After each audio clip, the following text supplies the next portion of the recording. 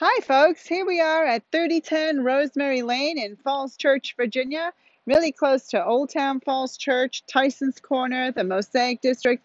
We have over 3,000 square feet in this house, five bedrooms, two dens, four and a half baths, lots of space. We're just waiting for someone to come and give this some new personality. It's got plenty of its own personality. We have vaulted ceilings, we have high ceilings, we have hardwood floors, we have corner windows and uh, priced only at 675 which is unheard of for this square footage in this area.